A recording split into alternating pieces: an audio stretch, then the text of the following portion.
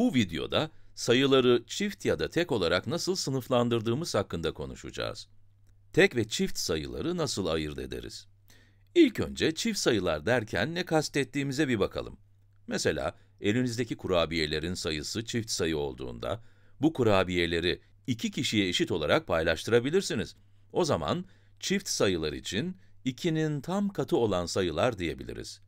Bu durumda iki tane kurabiyem varsa, bunları her biri bir tane kurabiye alacak şekilde iki kişiye paylaştırabilirim. Elimde dört kurabiye varsa, bunları da iki kişiye her birine ikişer tane kurabiye vererek yine eşit olarak paylaştırabilirim. Ve bu şekilde devam edebiliriz. Çünkü 2'nin tüm katları çift sayıdır. 8, 10, 12 ve sonsuza kadar devam eder. Bir sayının çift olduğunu anlamak için, birler basamağındaki sayının çift olup olmadığına bakmalısınız. Mesela 32. 32 çift sayı çünkü birler basamağındaki sayı 2. Peki 5 milyon 977 bin 354? Bu da çifttir çünkü birler basamağındaki sayı çift. Sayı istediği kadar uzun olsun. Bizim için önemli olan birler basamağı. Bir de oldukça ilginç bir sayımız daha var. Bazıları bu sayının çift olup olmadığından emin değiller. Evet, sıfırdan bahsediyorum. Sıfır, 2'nin tam katı olduğu için çift sayıdır. Sıfırın nasıl olur da 2'nin tam katı olduğunu merak ediyor olabilirsiniz. Bakın, 0 çarpı 2, 0 eder, öyle değil mi? Bunun için de 0, 2'nin tam katı ve bir çift sayı. Sıfırın çift sayı olduğunu da söyledikten sonra, artık birler basamağı fikrini iyice sağlamlaştırabiliriz. Mesela 150 gibi bir sayı, birler basamağındaki 0 çift sayı olduğu için çift sayıdır. O halde son defa tekrar ediyorum. Bir sayının birler basamağındaki sayı çiftse, o sayı çift sayıdır. Anlaştık mı? Şimdi sırada tek sayılar var. En basit haliyle tek sayıların çift olmayan sayılar olduklarını söyleyebiliriz. Hemen not alalım. 2'nin tam katı olmayan sayılar. Evet, tek sayılara örnek verecek olursak, 1, 3, 5, 7, 9 diye başlayıp bu şekilde devam edebiliriz. Aynen çift sayılarda olduğu gibi, bir sayının birler basamağına bakıp, tek sayı olup olmadığını da anlayabiliriz. Mesela 59. Birler basamağındaki 9 tek sayı olduğu için 59 da tektir. Ya da 1441. Bu da tek sayı çünkü birler basamağındaki sayı yani 1 tek sayı. Bu yüzden tüm sayı tek sayı olarak kabul edilir. Örneğimize geri dönelim. Elimizdeki kurabiyelerin sayısı tekse, bunları iki kişiye eşit olarak paylaştıramayız, öyle değil mi? Yani bir kurabiyeyi ortadan ikiye bölebilirsiniz tabii ama kurabiyelerin bütün kalmasını istiyorsanız, birinin diğerinden bir tane fazla kurabiyesi olur. Tek sayılar 2'nin tam katı olmadıkları için, tek sayıda herhangi bir şeyi iki kişiye eşit olarak paylaştıramazsınız. Bunu da not edelim. Eşit olarak paylaştıramazsınız.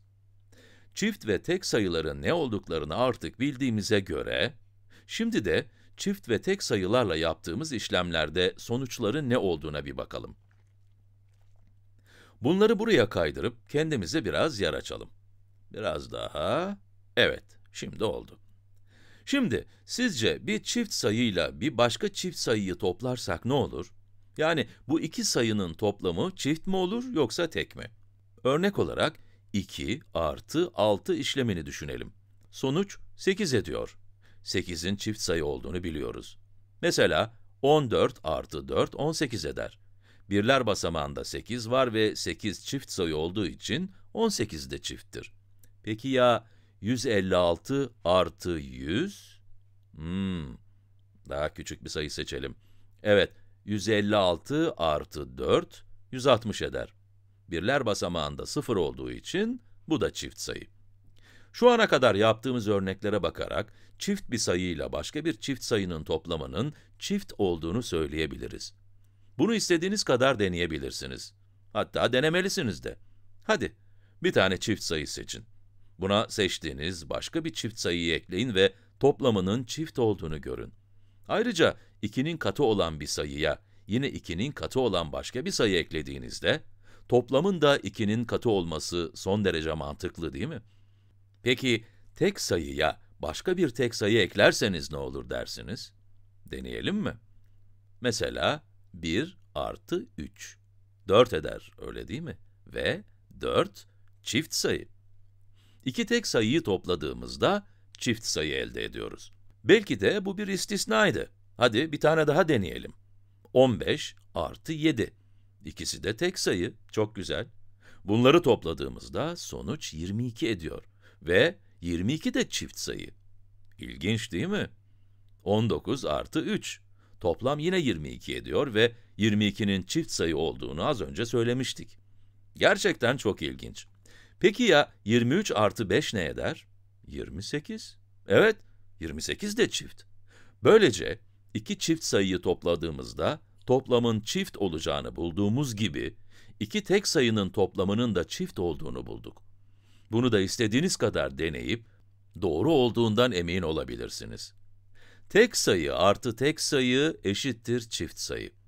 Son olarak bir de bir çift, bir de tek sayının toplamının ne olduğuna bakmak istiyorum. Çift sayı artı tek sayı. Mesela 2 artı 1. 2 artı 1, 3 eder. 3, tek sayı. 4 artı 3, 7 eder. 7 de tek sayı.